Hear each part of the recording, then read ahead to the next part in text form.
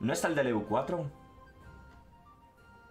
Justo le doy al F5 y Pavia lo acaba de publicar 26 de octubre. Chicos, vamos a ver en primicia el nuevo diario de desarrollo de Europa Universalis 4.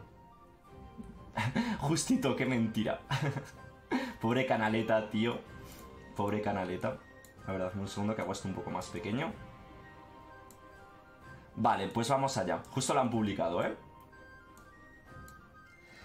Vale, muy buenas a todos y sed bienvenidos. En el diario de desarrollo de hoy vamos a hablar de diferentes cosas del el pack de inmersión de Origins, que es el nuevo DLC del que acompañará al parche 1.32. Las nuevas mecánicas del judaísmo, nuevos árboles de misiones por toda África y nuevos cambios iniciales al mapa que hemos hecho para la región, así que va a tener bastante, bastante contenido. Como nos intenta engañar Canaleta, ¿no? Lo que no veo es la necesidad de crear una cultura divergente si no puedes cambiar lo más importante de la tuya. Hombre, ha dicho que va a haber razones para cambiar de cultura eh, en momentos dados, ¿no? Por ejemplo, si tú perteneces a una cultura que sea muy grande y esté expandida por muchos reinos, ha dicho que iba a ser más fácil diverger de cultura que reformar la tuya. Por ejemplo, imagino ser griego, ser griego, ser andalusí, ¿no? Como, como lo mencionaban. En fin, vamos a empezar con las nuevas mecánicas que recibe el judaísmo. Es la última religión grande que le faltaban mecánicas en este punto del juego. Así que hemos pensado que era un buen momento para dárselas. Semien es el único país del mundo que aparece con el judaísmo al principio de la partida. Mientras que solo es uno de los... Eh, solo puede ser adoptada por, uno de los países de eh, Origins, que es Etiopía, Así Etiopía puede adoptar el judaísmo. Primera noticia que tengo, ¿no? Bueno, y parece que era esto algo muy pedido con en el diario de desarrollo anterior. Chicos, ¿en serio Etiopía puede adoptar el judaísmo? Pero bueno, eh, por cómo le hemos diseñado, el judaísmo funciona de forma muy similar al protestantismo. Bueno, esto me recuerda al... Creo que es la religión copta la religión copta y la zoroastra son las que eran iguales. Ah, puedo adoptarla. Ah, vale, Semien no es un país. Vale, Semien es el... Semien es una provincia que es judía, ¿no? Al principio, vale. Vale, entiendo que es como lo de los zoroastras, ¿no? Que el zoroastrismo está presente en una provincia en los Timúridas. Bueno, y en la India, si no me equivoco. Y puedes adoptarla si quieres, ok. Ok, ok, ok. Bueno. Em, vale, va a haber tres huecos para aspectos de la Torah. Cada uno de estos huecos cuestan 100 puntos de poder de la fe. Y estos puntos se ganan a un 10% de nuestros puntos del monarca por mes. Menos un modificador dependiendo de nuestra eh, unidad religiosa. Pero aquí Semien es un país. sinagoga de Semien, ¿no? Y tiene 13 de poder de la fe. Vale. Los aspectos de la Torah están divididos en tres categorías, administrativa, diplomática y militar. Cada categoría tiene tres huecos para elegir entre ellos, dándole al país ciertos beneficios y modificadores. Espero que esté bastante fuerte esta mecánica, chicos, o sea, esta religión, porque si no yo no sé cómo va a sobrevivir en el mundo. Ah, es país y provincia, ok, ok, ya lo estoy viendo, ok, ok. Vale, entiendo que este es vasallo de, Etiopía o algo así, ¿no? Y podrá o independizarse o Etiopía se lo puede integrar o cualquier cosa así, ¿no? Los aspectos administrativos van a desbloquear el uso del botón de celebrar un festival, el cual tiene distintos efectos dependiendo del aspecto administrativo que hayas escogido. El, el celebrar festival nos va a costar 200 de poder de fe, y los tres aspectos nos darán los siguientes modificadores. Menos 2 de malestar nacional, y usar el celebrar festival nos dará 1 de estabilidad, menos 5% de coste tecnológico y celebrar el festival nos dará 20 de reforma, de progreso de reforma y 5 de legitimidad o el equivalente y 5 de reclamación, de fuerza de reclamación del heredero. Ah, esto no está presente eh, ahora mismo en el juego. O sea, en el en, el estado inicial del juego esto no está, decís. Vale, vale. Pues esto es nuevo entonces también. Vale, y la última opción es menos 0,5 de intereses por año y celebrar el festival nos dará 0,3 años de ingresos y reducirá la inflación en 1. ¿vale? Aquí lo estamos viendo. Festival del Hanukkah. El judaísmo es una, eh, tiene muchas ceremonias y festivales de gran importancia. Aunque el Hanukkah se puede ver como uno de menor importancia, todavía es un festival querido eh, conmemorando la recuperación de Jerusalén y la subsecuente rededicación del segundo templo y el comienzo de la revuelta macabea contra el imperio seleucida. No conozco, chicos. La verdad es que no conozco esto, ¿eh? Pero bueno, ahí está, nos daría una estabilidad. Vamos con los aspectos diplomáticos de la fe. Nos permiten manipular las relaciones de nuestra gente con las religiones abrahámicas y viceversa. Cada aspecto nos va a dar un bonus pasivo a y distintos modificadores.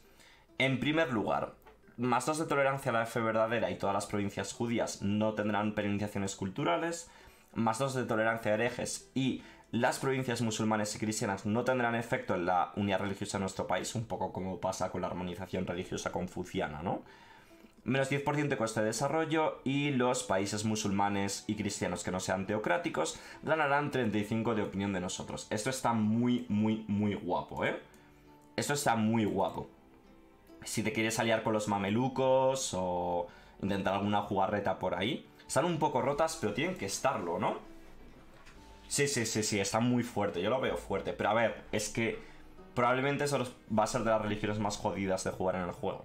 Va a haber logro, o sea, va a haber logro con Semien 100%, ¿no, chicos? Va a haber logro con Semien 100%. A ver, que meten. Buenas, Migukin, tío, buenas tardes. Vale, vamos con... Bueno, aquí estamos viendo comunidad judía.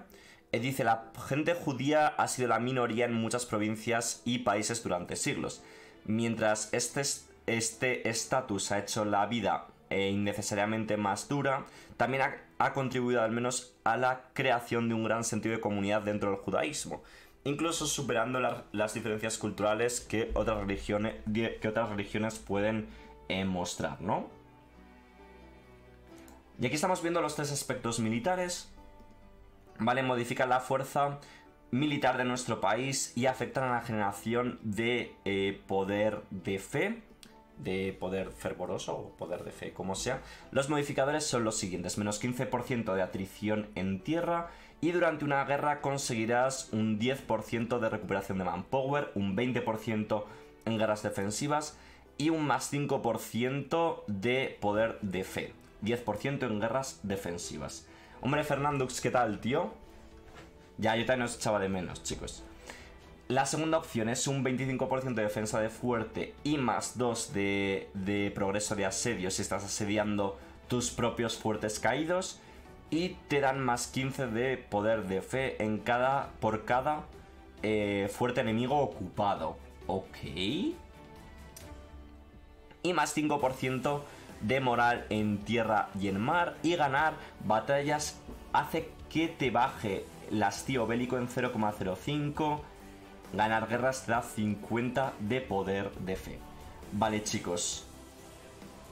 La sensación que me da este país de momento es que vas a tener que ir a full a pillar los aspectos militares de la fe judía porque están muy muy muy fuertes eh, ¿Quiénes van a ser judíos? Es un país que empieza con religión judía, que es Semien, está al norte de Etiopía, creo que es vasallo de Etiopía. Y obviamente, eh, si Etiopía integra este país y hace. Se, puede convertir al judaísmo Etiopía también, ¿vale? En plan, la sensación que me da es eso, de que tú con Etiopía, perdón, con el país que sea, ¿vale? Vas a pillar los aspectos militares y una vez ya estás, ya estás como fuerte en el mundo, ya te podrás plantear ir pillando el resto, ¿no? pero va a ser importante pillarlos, ¿eh? En fin, estamos viendo enseñanzas Purim. Em, Purim es una festividad judía y sirve como el memorial de aquellos que... Ah, perdón.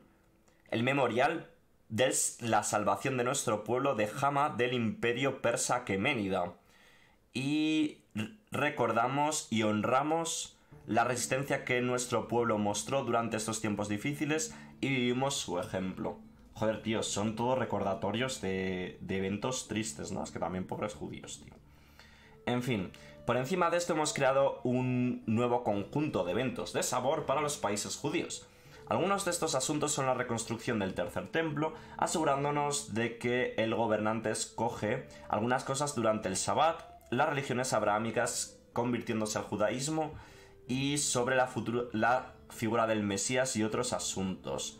Otros estarán centrados en torno a celebraciones, eh, así que puedes tener un buen bar mitzvah para tu heredero y tres celebraciones durante el año, el Pesach, el Shavuot y el Sukkot. Chicos, no tengo ni idea de judaísmo, ¿vale? Así que no os puedo explicar nada. Conseguía en forma Israel y coloniza América expulsando minorías ibéricas, francesas e inglesas. Mira, ahora que sabemos que Israel es formable, que eso es cierto, que no lo he mencionado, Canaleta probablemente hay algo de eso. Mm, sí, sí, podemos crear a Israel, a Israel eh, judía, desde luego.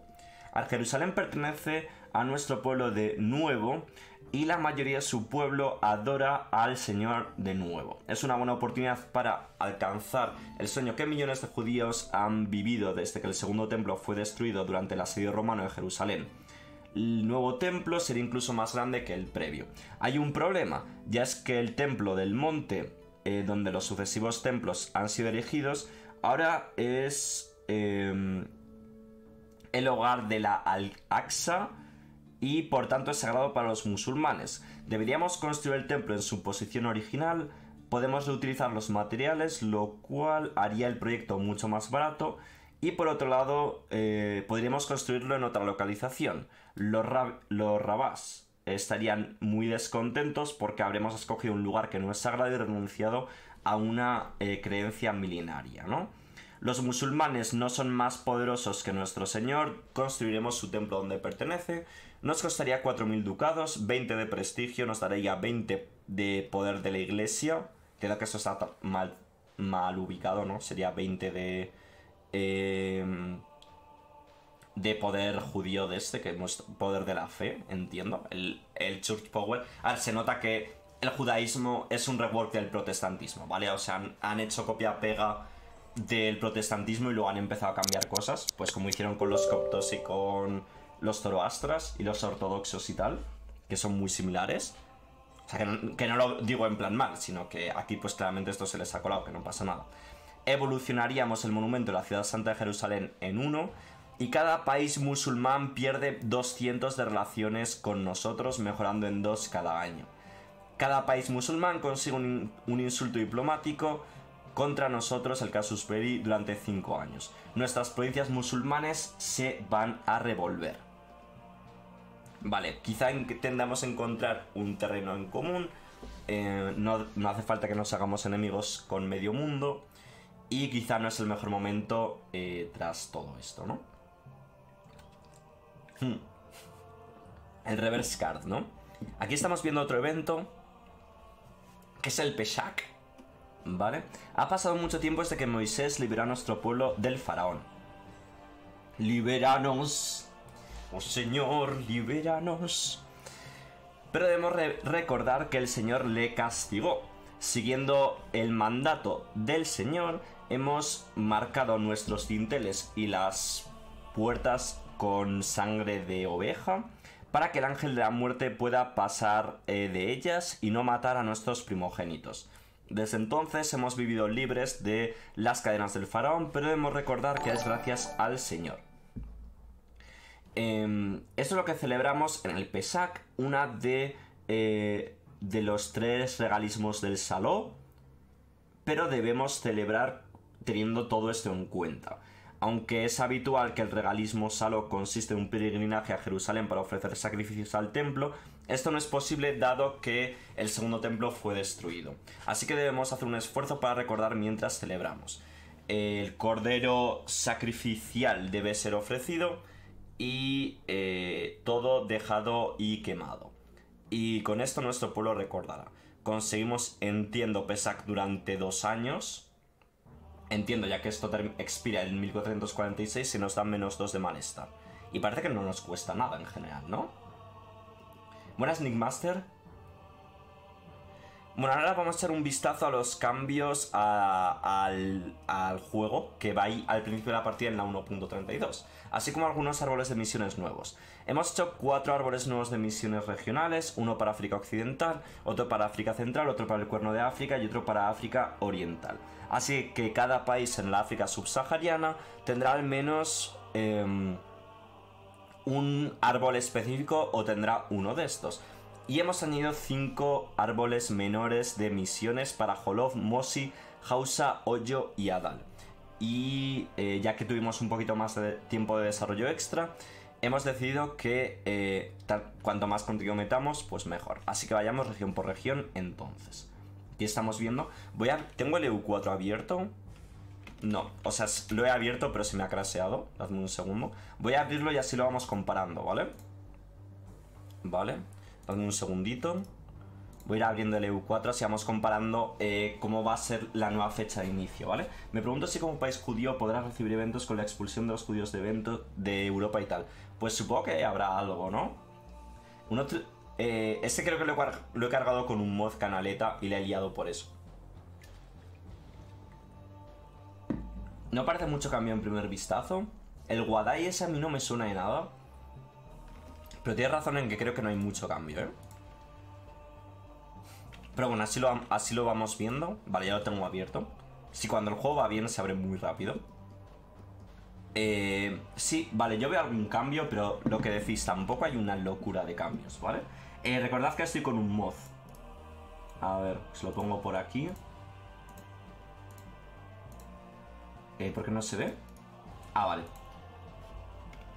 Vale, voy a hacer un poquito de zoom. Vale, eh, este es el EU4 actual. Este es el EU4 actual.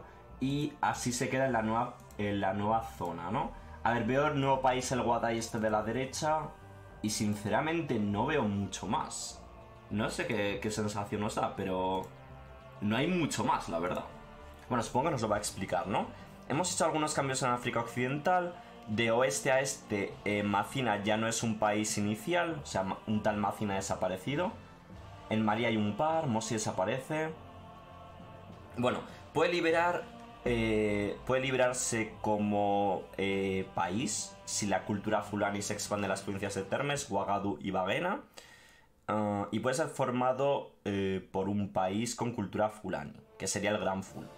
Hemos dividido el antiguo país de Mosi en tres nuevos que se llaman Yatenga, Ouagadougou y Fada en Gorma. Y podríamos haber creado más, pero hemos decidido usar el mismo criterio que los países Hausa. No hay muchos países de una sola provincia, para que no haya muchos países de una sola provincia en la región. Finalmente hemos creado el Emirato de Wadai al este del lago Chaf y Yao, y nuestra intención es tener un continuo de provincias habitadas desde el Atlántico hasta el Océano Índico, tras crear el Gran Fulo y que funge, aparezca por evento representando la ruta tradicional del corredor del Darfur. Todos los países en la región sin árbol de misión en específico tienen un nuevo árbol de misión genérico con tres caminos distintos, uno militar, otro económico y un tercero religioso.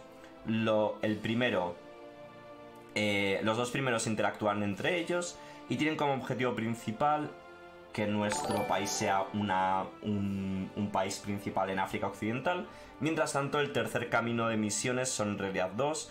Un camino fetichista y otro islámico que tienen distintos caminos. Los musulmanes van a intentar imponer su fe como la única en la región y los fetichistas van a intentar establecer una religión tradicional sincrética en nuestro país. Eh, muy buenas Arnek y muy buenas eh, chicos. Eh, como veis, el árbol genérico lo que va a intentar un poco, pues es como el árbol que estuvimos viendo de Malí y de Songhai, ¿vale? A nivel musulmán y, fetichista, pues eh, será así un poquito único, ¿vale? Y básicamente, pues... Eh, o sea, es básicamente el árbol de Malí y el de Songhai, pero sin esteroides, ¿vale? Eh, voy a actualizar esto porque está rota la imagen, a ver si carga. espero que sea la única. Vale, pues aquí entiendo que veríamos el árbol de misiones. Está roto, parece. Este enlace. What? A ver, voy a darle un último intento, pero parece que está roto el árbol, ¿eh? Vale, pues aquí entiendo eso, que veríamos el árbol de misiones. Vale, lástima porque no se ve. Voy a echar un vistazo a algunos de los árboles pequeños que hemos añadido para la región. El primero es Holov. Las dos primeras columnas son el castigo de Malí para expulsar, perdón, empujar a Malí fuera de África Occidental, reemplazándole y estableciendo un nuevo imperio en África Occidental. Adicionalmente, bueno, Jolof, para los que no sepáis, es este país de, que está en la costa, ¿vale? En plan, estamos hablando de este pequeño país de aquí, ¿vale? Que no tenía pues árbol de misiones hasta ahora y ahora lo va a tener. ¿Vale? Aquí estamos viendo su árbol de misiones. Eh...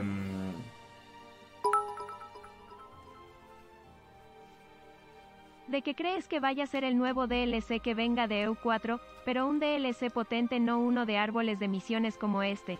Eh, Neuro, te tengo que dar una mala noticia en ese aspecto y es que ya no va a haber ninguna expansión potente del EU4, ¿vale? Van a ser todo árboles de misiones como este. Han dicho que falta uno en Oriente Medio, que sería en plan mamelucos, eh, Persia un poco esta zona, otomanos también que faltan. Han dicho que van a hacer otro en Sudamérica y otro en Escandinavia. Esos son los tres últimos DLCs del EU4 y van a ser como este, ¿vale? Lo siento si esperabas un DLC tocho, pero ya no va a haber más DLCs grandes de Europa Universalis 4, ¿vale? Em, ¿Qué opinas? Eh, ¿Te gusta Mountain Blade 2? Sí, me gusta mucho, tío, pero lo jugué en la beta, me vicié muchísimo y dije, voy a esperarme como varios años a que el juego mejore y darle más caña. Porque el juego está muy, muy, muy guapo, tío. Pero tenía. Le faltaban cosillas. Pero el juego está increíble. Pero también os digo que a mí me flipó el, el, el Bannerlord. Porque yo nunca había jugado a un Mountain Blade, ¿vale? Igual de haber jugado ya algún Mountain Blade con mods y tal no me hubiera parecido para tanto. Pero a mí se me cayeron los pantalones jugando ese juego. Me parece una locura. Eh, bueno. Hemos querido representar la forma específica de gobierno de Holof. Que eh, Jolof era el primus inter pares, el príncipe de unos reinos pequeños. Tiene una, una, reforma de gobierno único que le permite representar una confederación de reinos que Jolof eh, solía ser. Ahora que estos pequeños reinos van a tener tres privilegios estatales que representarán la descentralización de Jolof. Y la tercera columna del árbol de misiones te pedirá que centralices el país tomando ciertos privilegios. Centralizar el Estado nos pedirá que tengamos al menos dos de estabilidad y un montón de lealtad de los estados con los jefes. Y centralizar nos permitirá automáticamente... Eh, bueno, nos hará perder estabilidad y eh, nos tomará un buen cacho de lealtad de los estados. Bueno, básicamente, pues eso, reforma el país, tiene bastante flavor especial y eso mola bastante. Lo que no sé si tiene algún formable, Holof, no recuerdo exactamente. Aquí vemos su reforma de gobierno exclusiva que es la Confederación Tribal, una eh, forma de gobierno en la cual muchos jefes y pequeños reyes se someten al control de una autoridad central, pero mantienen cierto grado de autonomía interna. Vemos que tienen menos absolutismo, menos malestar y más lealtad de la nobleza y un 15% de influencia de la nobleza, que es bastante tocho. Otra imagen rota, chicos, eh, lo lamento, ¿vale? Entiendo que esto es uno de los nuevos privilegios. ¿Vale? Esto es uno de los nuevos privilegios, debería serlo, ¿vale? Eh, porque han dicho que había tres privilegios nuevos. Tío, sí que hay imágenes rotas. Joder, qué pena me está dando, tío. A ver, voy a actualizarlo otra vez. Yo qué sé, tío. Joder, qué pena, macho. Están rotas las imágenes, tío. Qué rabia. Bueno, ¿qué se le va a hacer, no? Eh, luego, luego cuando terminemos de mirar el diario de desarrollo, le damos al F5 a ver si, a ver si se actualizan, tío.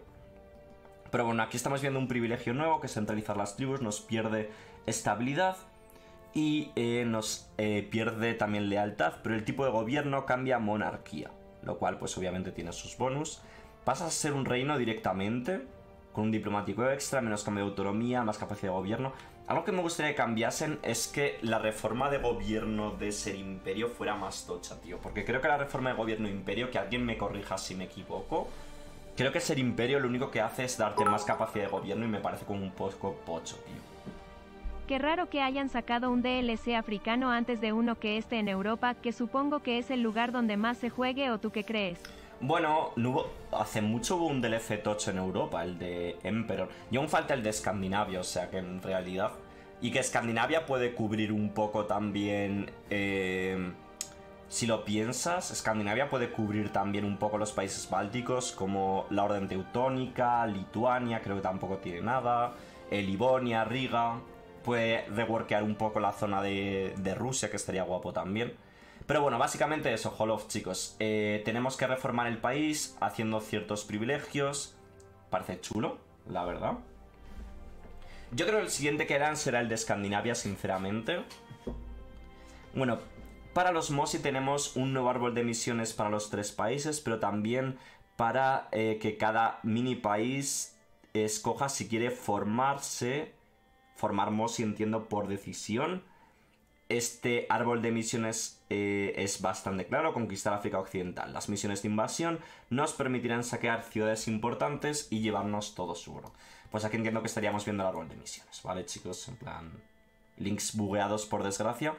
Formar Mosi activará un evento más tarde y nos añadiría dos visiones a nuestro árbol sobre su forma de gobierno. Al contrario que la Confederación de Holov, el reino confederado de Mosi es mucho más beneficioso y nos dará acceso a una federación tribal, que es una mecánica si tenemos el DLC Cradle of Civilization, y nos desbloqueará una nueva, eh, varias decisiones nuevas para nuestro país. El efecto de estas decisiones no va a ser instantáneo, ya que siempre tomará unos 6 meses antes de entrar en activo. Además de esto tendremos que pagar con legitimidad y autonomía local. Finalmente, completar la centralizar la confederación nos permitirá eh, liberarnos de esta reforma de gobierno y reforzar, eh, reforzarnos incluso más con una elección de evento. ¿Vale? Eh, bueno, aquí entiendo que estaríamos viendo pues los privilegios, las distintas reformas, etc. El evento que se ve es este, así que lo vamos a comentar. La reforma del gobierno confederal Mosi. Los reinos Mosi han sido gobernados por la Confederación durante unos pocos años. De todos modos, los vientos del cambio soplan por nuestros reinos y hay una cuestión que está en el aire. ¿Deberían ser gobernados como han sido hasta ahora o deberíamos tener un gobierno más centralizado para nuestros tiempos, no? Estamos felices siendo la Confederación Mosi, lo cual nos dará una estabilidad y 30 de eh, Allegiance es como, no sé, como lealtad a las tribus o algo así. Conseguiremos privilegios para los reinos hasta que revoquemos esta reforma de gobierno, lo cual nos da 50 de legitimidad, más cambio de autonomía, menos absolutismo y más eso, eh, lealtad con las tribus, ¿vale? Sí, lealtad de las tribus, ¿no? Dice Canaleta. Eh, ¿Puedes pasar el link? Eh, si os paso el link. Si alguien, si alguien ve las imágenes, que avise, chicos. Las misiones de Hausa también tienen un poco la misma perspectiva que las de Mosi y solo puedes... Eh, eh, solo, puedes, solo puedes tener acceso a ellas si empiezas como uno de los países iniciales de los Mosi, de los Hausa, perdón. Eh, van a ser un poco sobre la conquista de otros países Hausa, con la opción de unir las ciudades que nos pedirá que seamos o Hausa o Sokoto.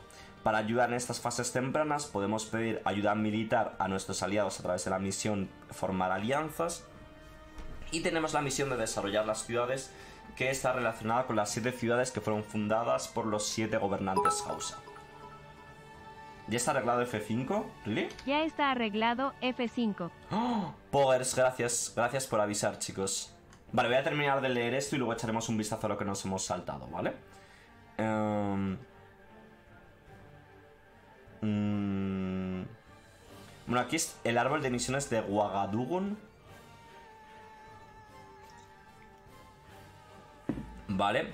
Em, el gobierno confederal Mosi. Y aquí estábamos viendo las decisiones, como efectivamente celebrar rituales, conseguir lealtad de las tribus, eh, hacer matrimonios internos o juntar a los ejércitos nos pierden legitimidad y dentro de seis meses nos darán pues distintos bonos, ¿no? Entiendo pues manpower, eh, lealtad de los ejércitos, etcétera, ¿no?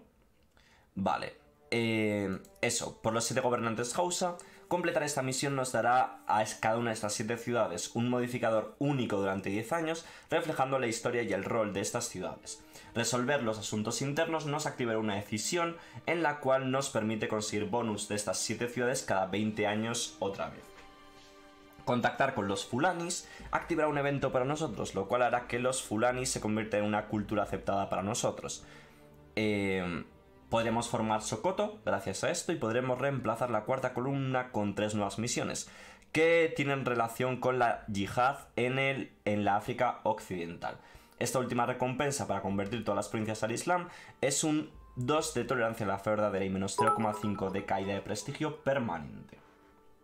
Deberías de hacer una meta de suscriptores o seguidores donde si llegas juegues una partida en la versión 1.0 del EU4XD. Me molaría un montón ver una hacer una partida en la 1.0. De hecho, hoy han anunciado que van a eliminar las versiones 1.10 y 1.11 de Steam, lo cual es un poco triste, chicos, pero así va a ser. Pero no sé cómo conseguir una versión del, 1, del EU4 que esté sin un DLC, sin nada. De hecho, es más. Eh, creo que el EU4 cuando se lanzó, se lanzó en la versión 1.1. De hecho, eso, yo creo que la versión 1.0 ni siquiera llegó a existir. Bueno, existiría, pero cuando el EU4 se lanzó fue en la 1.1, ¿vale? Un poco raro, supongo, pero bueno. Eh... Eh, ¿Por qué van a eliminar esas versiones? Porque tienen que hacer espacio para las nuevas, para nuevas versiones. En plan, está limitado. Las compañías tienen limitadas cuántas betas pueden tener en sus juegos de Steam. Entonces las del EU4 pues están continuamente eh, superándose. Entonces tienen que ir eliminando. Y las más antiguas que hay ahora son la 1.10 y la 1.11. Y como van a lanzar la versión 1.32 y más tarde llegará la 1.33 y la 1.34, pues tienen que ir haciendo hueco, ¿vale? Es principalmente por eso. Buenas, Pablito. Ya, en plan, habrá que intentar conseguirla por medios... Pero es que no sé si puedo... ¿Sabéis? En plan...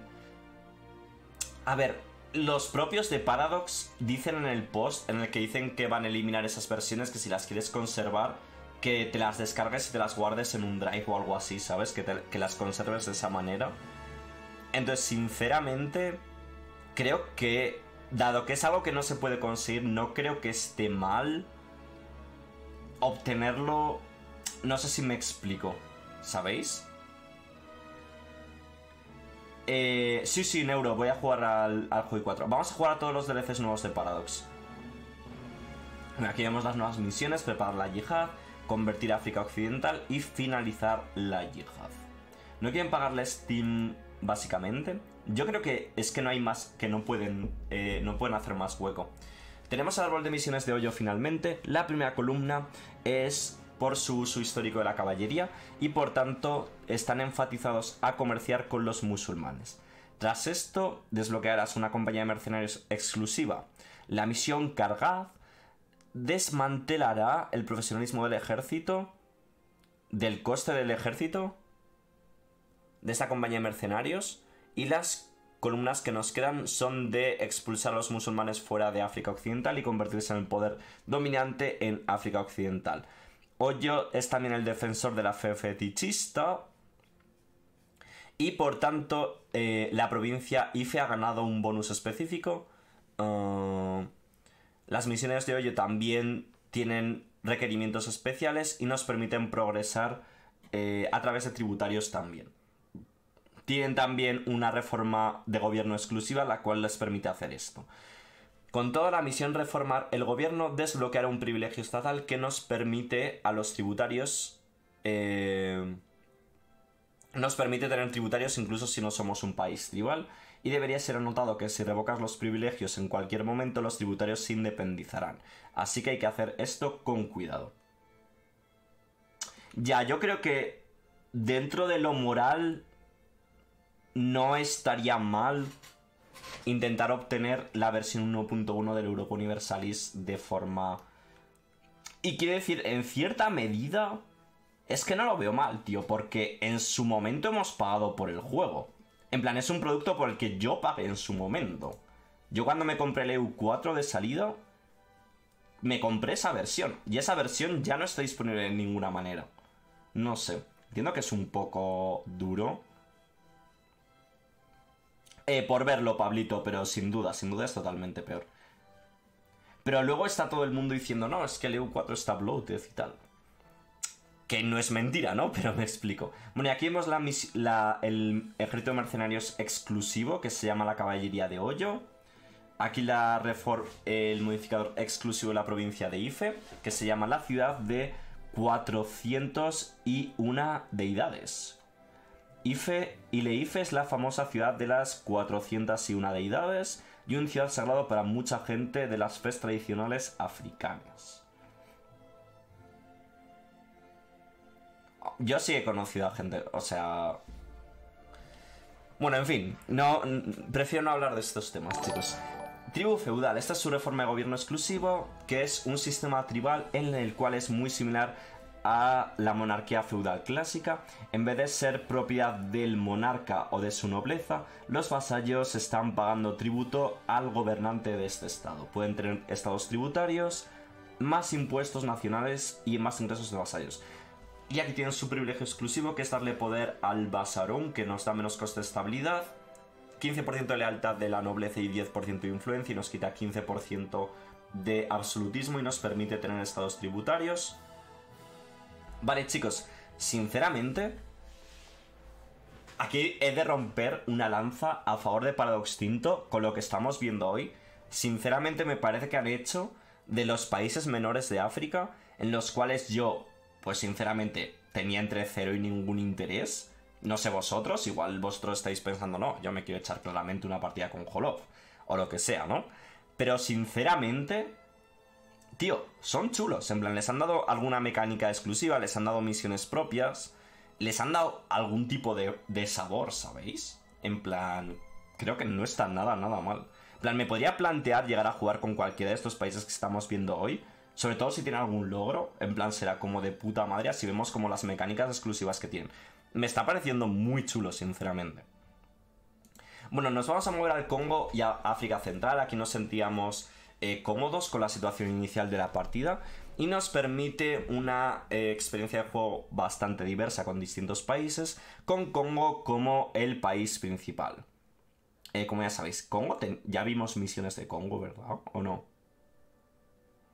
Ah, lo que hemos hecho es añadir un nuevo árbol de misiones para el resto de países en ambas regiones el cual va a tener tres caminos, el camino de guerra económico en el cual nos prepararemos para la guerra y la idea es que lo utilicemos primero para mejorar nuestra economía a través de los asaltos. Esto estará representado con una misión que nos requerirá que tengamos distintas reparaciones de guerra. Una vez nos podamos eh, mantener y sostener un ejército eh, digno, podremos empezar a expandirnos hasta el punto de convertirnos en la potencia militar de la región con una misión que nos pedirá que tengamos el ejército más grande de la zona. Y podremos ir hasta convertirnos en un imperio. El segundo camino es el diplomático y empezará por conseguir aliados fuertes y asegurar nuestra posición. Y la misión nos, que, nos requiere que sean fuertes, ya sea no el Congo, Kilwa o Mutapa. Entonces tendremos que ganar la confianza de nuestros aliados y nuestra posición será segura para que nos volvamos agresivos diplomáticamente con distintas misiones pidiéndonos que tengamos vasallos y lleguemos a un punto de infligir un golpe definitivo a un rival para humillarlo, lo cual también nos va, es un requerimiento para que seamos imperio. Y finalmente el tercer camino es el religioso, en el cual se nos pide que empecemos con un reunir Pokémon fetichistas, quiero decir cultos, y la idea es que lleguemos a tener contacto con países musulmanes, lo cual está relacionado con misiones diplomáticas del camino de diplomacia y lo cual nos va a permitir conseguir eh, información importante para expandir nuestra religión. Lo primero, haciendo guerra con cualquier país que sea nuestra frontera y que no sea nuestra religión. Y después tengamos que convertir las provincias. Vemos el árbol de Ndongo, bastante, bastante, bastante tocho. Espero que haya misiones de Dahomey. Estoy mirando a ver si la Epic Store permite jugar versiones antiguas. Pero es oficial de Steam, ¿eh? Yo creo que Steam es la que más... O sea, Steam ahora mismo la más antigua que me deja es... Uh, estoy mirando. Betas. La 1.13 es la más antigua que me deja a mí, ahora mismo. No sé a vosotros. Que podría ser interesante verla igualmente. Uh, desde que conocí a Satisfactory me he olvidado de todo Paradox. El Satisfactory tiene que estar guapo también. Mm, mm, mm, bueno, Nick Master, la idea de, este, de esta nueva época del EU4 es que los desarrolladores, los programadores se dediquen a corregir bugs, mejorarla y a equilibrar el juego. Los diseñadores de contenido se dediquen a hacer misiones, privilegios, eventos, etcétera, para el resto de regiones. De modo que cuando estén eh, con cada nuevo parche el juego sea mucho mejor, mucho más sólido eh, y tengan más variedad regional. Es un poco la idea, ¿vale? Sin añadir nuevas mecánicas, sin añadir nuevos conceptos, etcétera, ¿vale? que entiendo que para alguien pues echarán en falta nuevas mecánicas, pero sinceramente, como que, en mi opinión, creo que el juego está ya bien de mecánicas. Es cierto que podría hacer varios reworks antes de terminar. En plan, me molaría ver un rework colonial de alguna manera o económico, pero quizá eso ya es más material del EU5 que de otra cosa, ¿no? Sí, sí, sí, sí, voy a jugar el nuevo DLC del Stellaris. No te preocupes, Mattingly, tío. O sea, me podéis hacer las mismas preguntas, aunque eh, ya se han repetido, etcétera. Entiendo que no todo el mundo está presente en un momento dado del streaming, o a veces a mí se me cuela eh, algún comentario y no lo leo y no respondo, pero podéis insistir a veces con lo mismo que no pasa nada, ¿vale? En plan, lo entiendo perfectamente. Bueno, luego tenemos el cuerno de África. Aquí tenemos un nuevo país que se llama Ogadín, representando los clanes somalíes que habitaban en este lugar. El árbol de misión regional está relacionado con distintos enfrentamientos religiosos, y el objetivo es conquistar y convertir a los herejes, unir los países de nuestra fe y convertirnos en la potencia principal de la región. Tras completar la última misión de estos caminos, salvar el cuerno, debemos eh, obtendremos el, eh, el modificador permanente, el cuerno sagrado, lo cual nos dará un 50% de unidad religiosa como recompensa a nuestros esfuerzos. Y de manera paralela a esto tendremos eh, misiones con un alcance económico con el objetivo de que nuestro país sea el principal eh, poder comercial en el Océano Indio. Vale, vamos a comparar la zona inicial con la del juego. Mm. A ver. Entiendo que solo es Ogadín el nuevo país. Creo que sí, ¿no? Así a grandes rasgos. Mm, sí, ¿no? Sí, sí, solo es Ogadin el nuevo país. Ahí está. Semien no es libre. Semien no es libre. Ah, Semien está... O sea, Semien... Vale, cierto, ¿eh? Semien no es, no es libre, es de, de Etiopía. Creo que empieza con los judíos revueltos, ¿no? O sea, Etiopía empieza con los judíos revueltos, ¿verdad? Ocupado por rebeldes. Espera, estoy entrando al juego con Etiopía. Estoy bastante seguro que empieza con una revuelta de judíos. A ver si carga. Tarurun, tum, tum.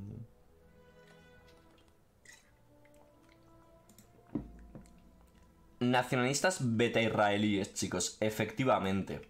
Efectivamente. Y puedes aceptar sus exigencias. Semien pasaría a ser una nación libre y vasalla, pero no te, elige, no te da la opción de jugar con ellos. No te da la opción de jugar con ellos. Entiendo que habrá que hacerlo desde la pestaña diplomática y no aceptando las revueltas, ¿no? Vale, no sé, interesante. ¿Tendrá árbol de misiones Semien? Eso sería lo interesante, ¿no? En, esta misma región tenemos el último árbol de misiones pequeño, el de Adal.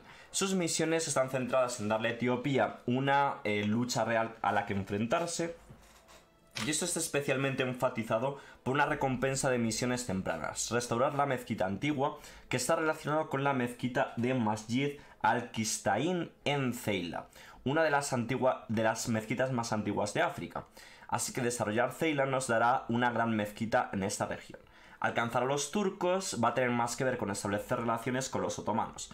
Esta misión puede ser completada em, teniendo cualquier regimiento en la costa del Mediterráneo o en una provincia controlada por un país turco.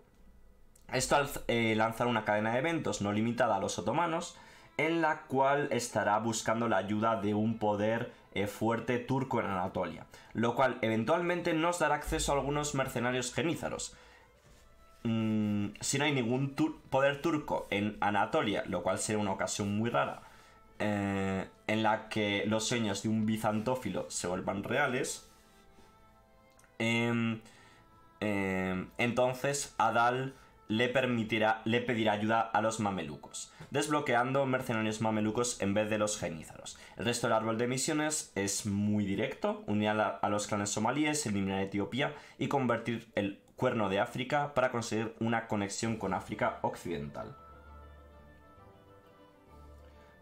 Eh, ¿Se trabajo para el siguiente desarrollador?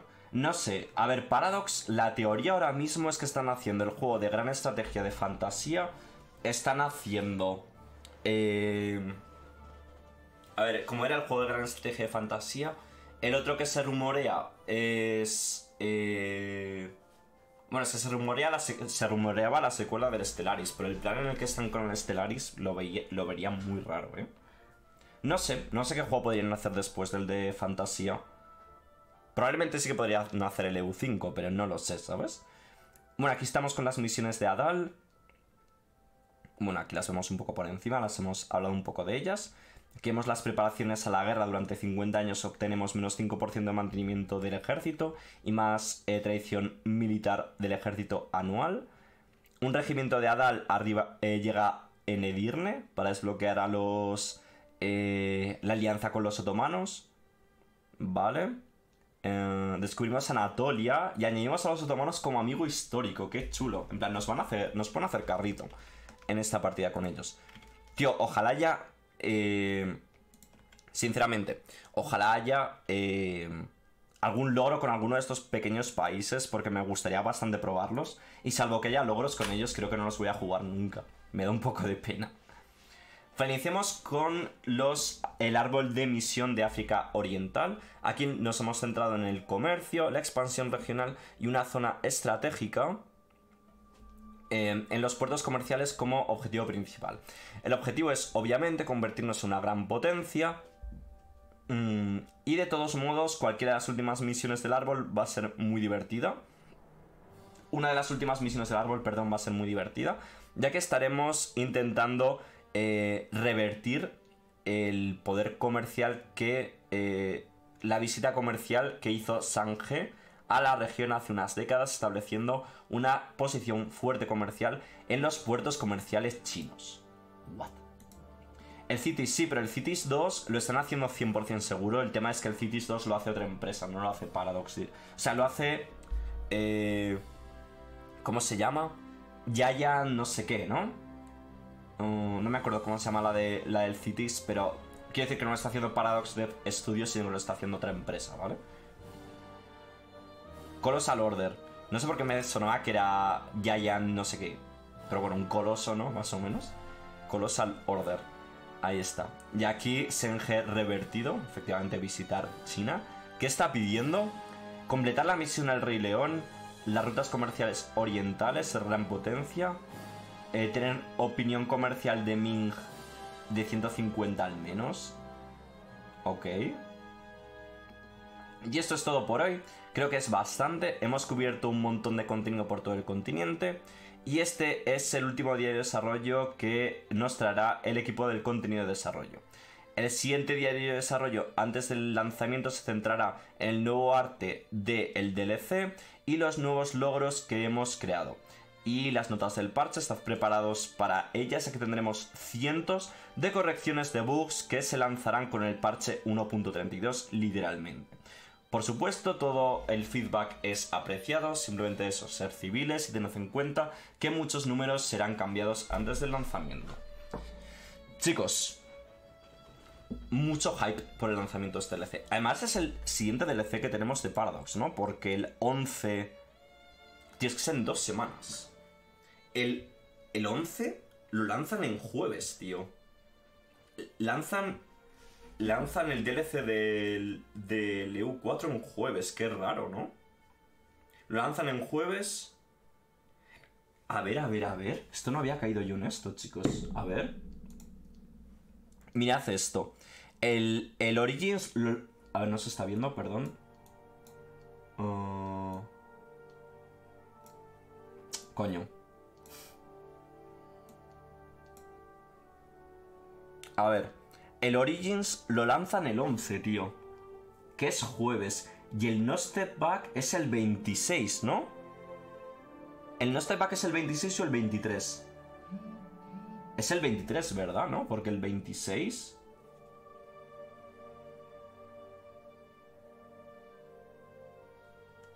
Es el 23. Vale, vale, vale. Estaba petando. Digo, ¿cómo van a lanzarlo un, un, un viernes?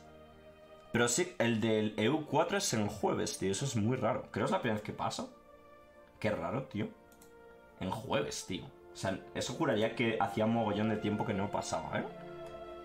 Pero bueno, muy contento con esto. En plan, las notas del parche van a ser una locura, ¿eh? Literalmente llevan desde que lanzaron el Leviatán trabajando en corregir bugs. Literalmente, solo para eh, mejorar el juego, así que pinta guay. Y el arte entiendo que veremos, pues, esos nuevos eventos, eh, nuevos modelos de unidades. A ver, a ver, a ver. Claro, se quedan dos diarios de desarrollo. Entiendo que el de la semana que viene es eso, arte y, y logros. Y la semana siguiente, el 9, igual son las notas del parche o algo así. No sé, joder, tengo muchas ganas. Y salen nada, ¿eh? Es que salen dos semanas, tío. Va a estar, va a estar pepino, tío. Vale, pues vamos abriendo el Europa, ¿no? Vamos a jugar un poquito. Vamos a jugar un poquito que vamos a empezar la nueva campaña con Dismartion. Em, voy a poner que estamos jugando al EU4. Ah, ya había puesto que estábamos... Eh, ya estábamos jugando al EU4.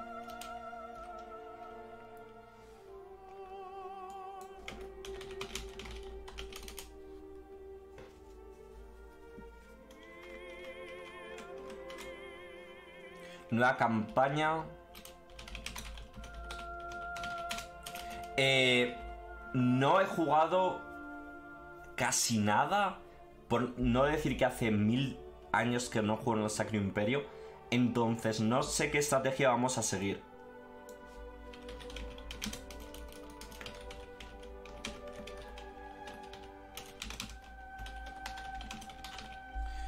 Vale, pues chicos, llegó el momento. Partida de un jugador. Esta, para los que no lo sepáis, la última vez que hicimos una votación de